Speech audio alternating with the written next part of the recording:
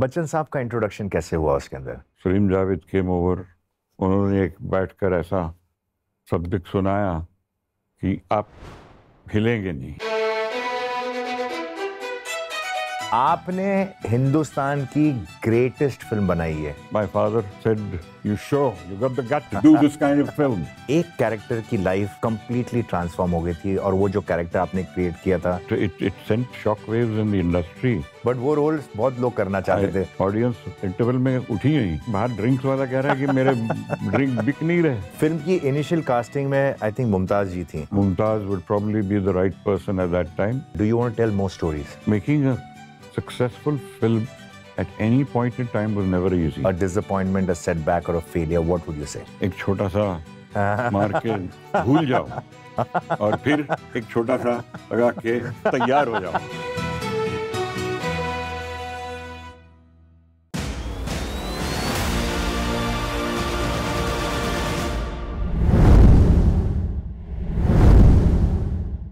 welcome to the invincible series season two जब cinema की बात होती है तो there something truly magical about some unforgettable characters जो सिर्फ़ सिनेमा तक नहीं रहते हैं।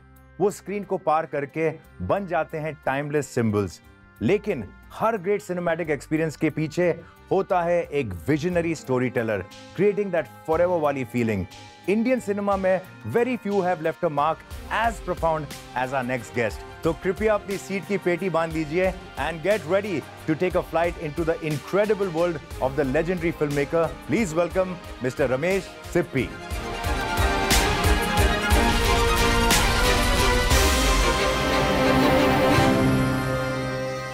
Ramesh ji, welcome on the Invincibles. It's truly an honor to have you on the show. So your first film was Andaz, right? And it was a very um, unique subject at that point in time. And Everybody said, "What are you trying to do? Yeah, You're itna- starting a career with with with a this kind of complicated film. subject and a very uh, serious topic of a widow's life, yeah. widow and widower." And Shami ji को लिया आपने Shammi ji, by then, when I spoke to him, जी बातें करते करते मैंने कहा कि ऐसी वन लाइन है कि a widow and a widower and he looked at me. You want me with his image. huh?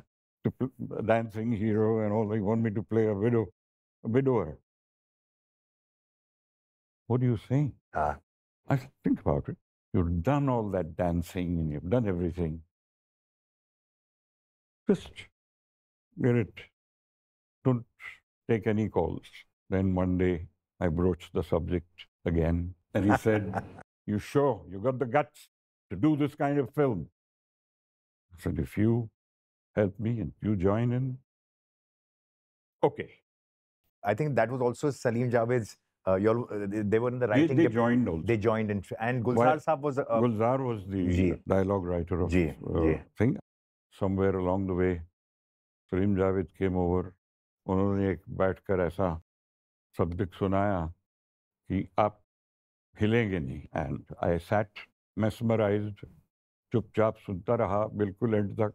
मुझे लगा कि ये writers who have that in them from January 1970 I remember they join the तो पहली film अंदाज second film आपकी सीता और गीता अगर आप इन दोनों को देखोगे तो देर टू डिफरेंट मतलब yeah in emotion and the kind of genre that you were making I, I don't know. I always went by instinct. Sensibility should also prevail.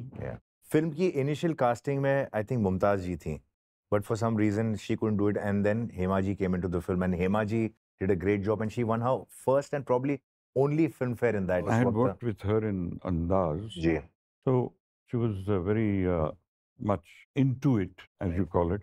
So you like people who are enthused more yeah and want to be a part of. And uh, as you said correctly, when we decided to make it, ऐसा लग रहा था कि Mumtaz would probably be the right person at that time. right she had too many uh, commitments at that time, and I didn't want to wait. Mhm. हाँ So I asked her. Salim Javed even said, Are you sure? yeah okay ये मतलब she'll be confident to do it kind of yeah ऐसे उसकी personality में वो है कि चलो सीता तो फिर भी ठीक है गीता का रोल कैसे करेगी जी जी बहुत बार ऐसा होता है कि somebody is the first choice और किसी वजह से क्योंकि या तो वो बहुत बिज़ी हैं या वो आउट प्राइस करते हैं या कोई प्रोफेशनल Yes, इश्यूज़ yes. होते हैं और कोई आप रिप्लेसमेंट ले लेते हैं not only that he ends up being the better choice eventually for it he he becomes a competitor for the person who refused it ऐसा ही होता है। कई बार ऐसा होता है। जा। आपने हिंदुस्तान की ग्रेटेस्ट फ़िल्म बनाई है आज तक। Today still today it is considered as one of the greatest films of all time that Sholay Orson Welles ने अपनी पहली फ़िल्म बनाई थी Citizen Kane, he must have been about 25 or something. Somebody had summed up कि that film was as much a feather in his cap as a stone in his neck. Do you feel Sholay, the kind of success that it got and the kind of love and adulation that it got, it kind of in some way tried to repeat and did that affect you at any point in time? I don't think so. I always want to do something different. Yeah, yeah. So to me it was not कि मुझे ये फिर से ऐसी film बनानी है या बनानी पड़ेगी? जब वो फ़िल्म बन रही थी आपने शायद ये भी कहा था कि शोले जीपी सिप्पी साहब के बगैर नहीं बन सकती थी फ़िल्म। He is one आपका supporter finest entrepreneurs ever right in any field. now that you've said this entrepreneurs and a businessman to some extent जब फ़िल्म का बजट इनिशियली आया था तो मेरे ख्याल से उस वक्त एक करोड़ रुपए के आसपास जो था। बट बनते बनते the film went thrice the budget it went up to almost three crore at that point time उस वक्त डिड सिप्पी साहब और you for that matter feel any pressure I guess I didn't feel the pressure because he never applied any pressure. Yes. And did you feel the pressure because he didn't apply any pressure?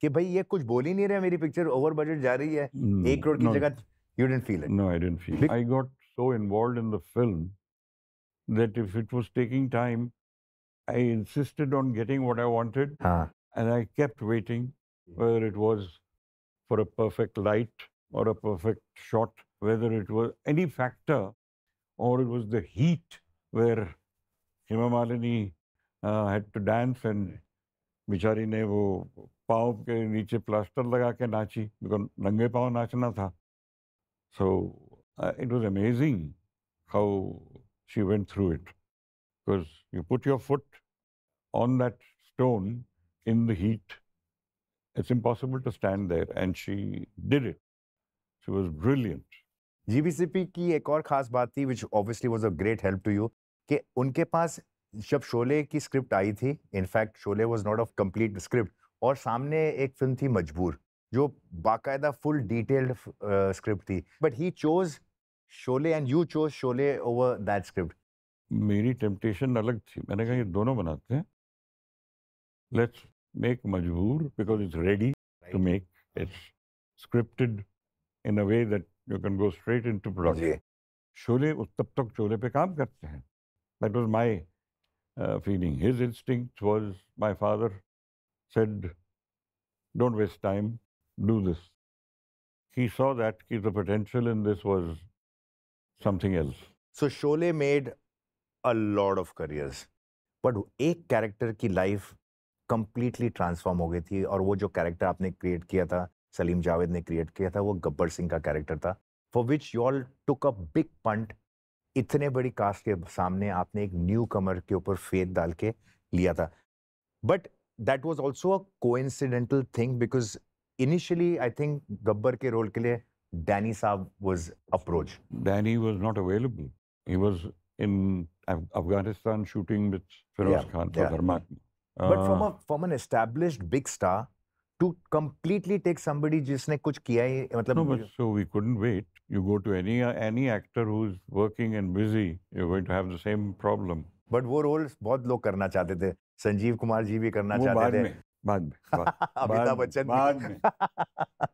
बाद में अच्छा पहले नहीं किया पहले नहीं पहले fascinate किया फैसिनेट किया था कि कमाल का रोल है। क्योंकि वो spited against everybody no no that is very true the way the role turned out on paper on the script it felt like it had a lot in it and it was promising. so amjad khan's career was like तो was like a dream career like a dream role and उनकी आवाज भी बड़ी unique थी I think कहीं एक छोटा सा इश्यू था कि everybody was confident whether being the main villain whether his voice would work उसके ऊपर कहीं एक डिबेट या डाउट था Salim Javed Sahab ने भी कहा कि डब कर दीजिए at अच्छा least. हाँ very interesting yeah why Fair not? enough. yeah yeah yeah And they had their opinions. views yeah I just felt he this mountain of a man mm-hmm. and this voice which did not match that kind of thing. That itself was fascinating. And I wanted to stick by that.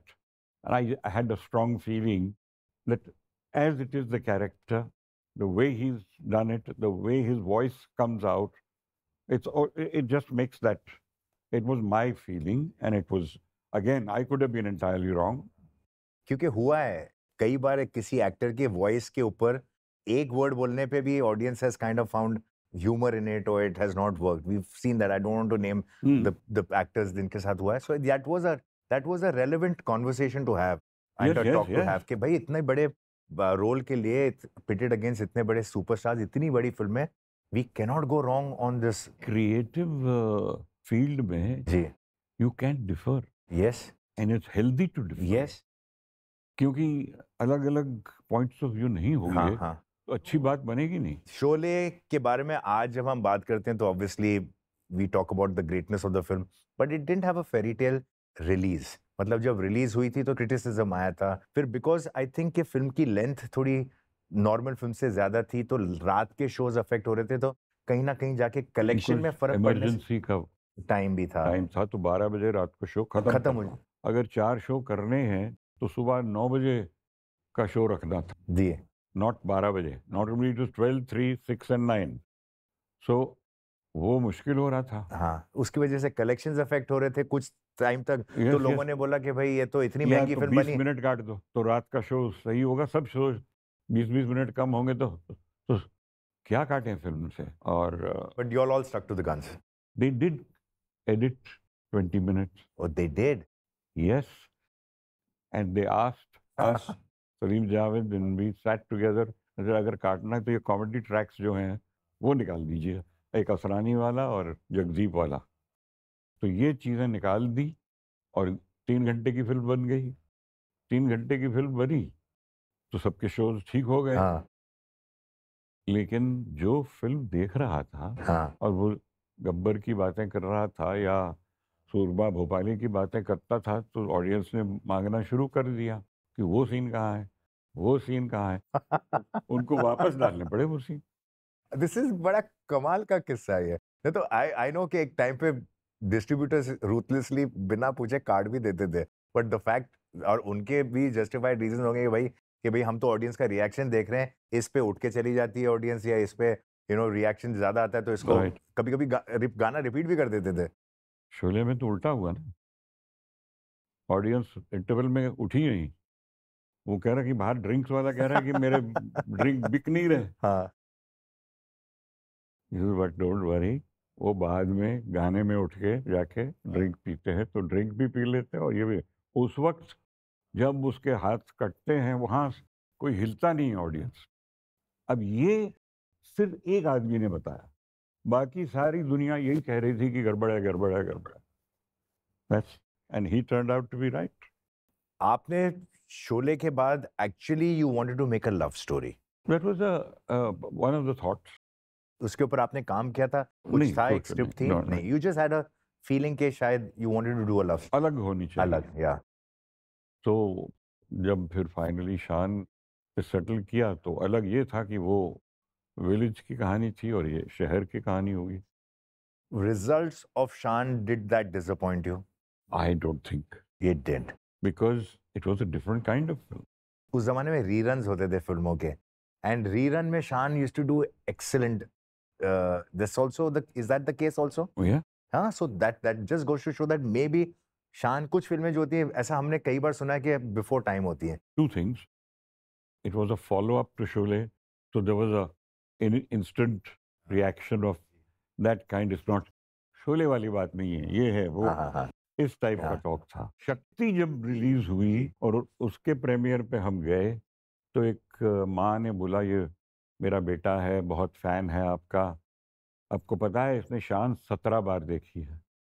अब अब क्या बोलेंगे हाँ अब क्या कहेंगे किसी को कि रिपीट वैल्यू नहीं है शक्ति व्हेन यू मेड उसमें बच्चन साहब के रोल से पहले आई थिंक बब्बर साहब राज बब्बर साहब going to be a In part of it Shakti.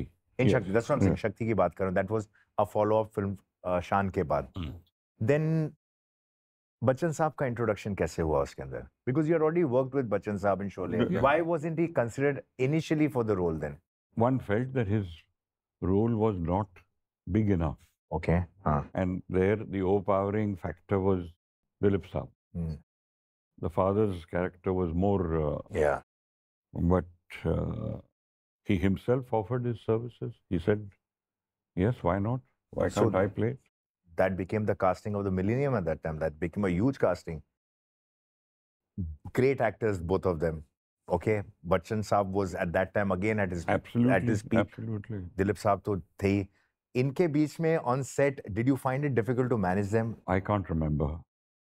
I know. then, It's then better- maybe they did Better, better. No, no. okay but it was Why comf- would I not like to narrate something interesting or some moment which was. But honestly, they were both absolutely fine. I remember the last thing we were shooting at the airport when he shoots the sun. That was the sequence we were shooting. And he sat there, Yusuf Saab, in the room Mhm. and said, Ramesh, this has been a very, very fascinating experience. And this young actor, he is so amazing. He never asks for anything. He never, he's just there. I mean, he's a great fan of yours also, but you have your way of doing things. He has his way. So they were they were talking very well of each other. each other but amongst your films that I have seen Shakti does stand as one of my favorite films of course Sholay kept apart उसके बाद अगर मुझे कोई film लगी of course Shan also I enjoyed and I liked your earlier films Okay, I want to be different. I want to make something in a different. That's why I can contribute more to it. I just feel that it will be more challenging for me to do something in a different genre. right That's also the reason I went for Bunyad. क्योंकि during सागर सबने कहा कि अब तो फ़िल्में पता नहीं लोग आएँगे कि नहीं टेलीविज़न शुरू हो गया है महाभारत लग गई है ये Hmm. तो ये सारी बातें करते करते हाँ। वी गॉट इनटू बुनियाद एक टाइम था कुछ हद तक अभी भी लोग ऐसा सोचते हैं कि you know the transition from a small screen to a big screen is consider as a promotion and from a silver screen cinema to going on to television is to some extent looked down as a demotion. You were a very, very successful filmmaker at that time. और आप बड़े पर्दे से आप एक television पे आ रहे थे आपके कोई रिजर्वेशन थे उस वक्त रिजर्वेशन तो कोई नहीं था लेकिन एक चैलेंज सा था। चैलेंज ये बना ली ये बना ली फिर एक और फ़िल्म ही बनाएँगे ना कौन से जानर में बनाएँगे? एक नई चीज़ आ गई थी टेलीविज़न लोग घर पे बैठ के एंजॉय कर रहे थे। तो I did a lot of homework no I saw a lot of serials which had become popular in America. And I found that every episode के end में कुछ ऐसा हुक किया hook ट्विस्ट किया किया हुआ है कि you want to see the rest. You want to see it. You want to see. it. So it became a new form of storytelling. storytelling. I can just sense right now that you you you were in a totally different mindset. इसका result कुछ भी हो but ये मेरा conviction है and used to back Ah, your if you conviction go by your conviction only, then you can carry on. Okay, sometimes it'll go wrong. It will go wrong yeah yeah Fair enough. Fair That's- enough. That's life. You can make mistakes, and not mistakes, an error of judgment, you call it. बुनियाद became such a big hit General लोग तो अपने dinners भी बुनियाद के around plan करते थे। So that also in a way उसकी वो भी एक किस्म की success it, it, it sent shockwaves in the industry because the film, this is 6.30 का शो खराब हो गया और 9.30 का शो भी खराब हो गया क्योंकि बीच में बुनियाद आ रही है। डू यू थिंक आज के ज़माने में एक कमर्शियल हिट फ़िल्म बनाना पहले से ज़्यादा मुश्किल हो गया because of the you know the advent of you know O T T today something really out of the ordinary has to be there to pull you to the theaters. Making a successful film at any point in time was never easy. Never easy, right. But those who have loved to make uh, films for the big screen have continued to battle and they continue to succeed. It's challenging, it's fascinating, and the challenge is also the fascination. Mm -hmm Are you still having stories you want to tell? I'll always uh, have that कीड़ा कि ऐसा कुछ हाँ आ, आ जाए हाँ तो मैं फिर से कर लूँ फैंटास्टिक व्हाई नॉट एक टॉपिक है इनसाइडर एंड आउटसाइडर का topic I want to ask you कि आपको लगता है कि being an insider is there are there any advantages I think uh, it cannot be denied that if you're in the industry and and you have uh, bloodlines, they will help, but they are also challenging because can you live up to their Expectations uh, are very high. expectations? If you're a newcomer and you want to make a, it's definitely more difficult. Do it on your own entirely. But in a long career it hardly matters. True. It's probably just the But you struggle Yeah. in any field. You Yeah. struggle. right. Wherever You you, actually want struggle to go. more after you become successful. I personally and feel that you struggle to stay there. they stay there. To The struggle never ends. Nah, never. Yeah, never ends. You should not be afraid of struggles or uh, challenges, and you should always be ready One to take them. way to motivate yourself after a disappointment, a setback, or a failure, what would you say?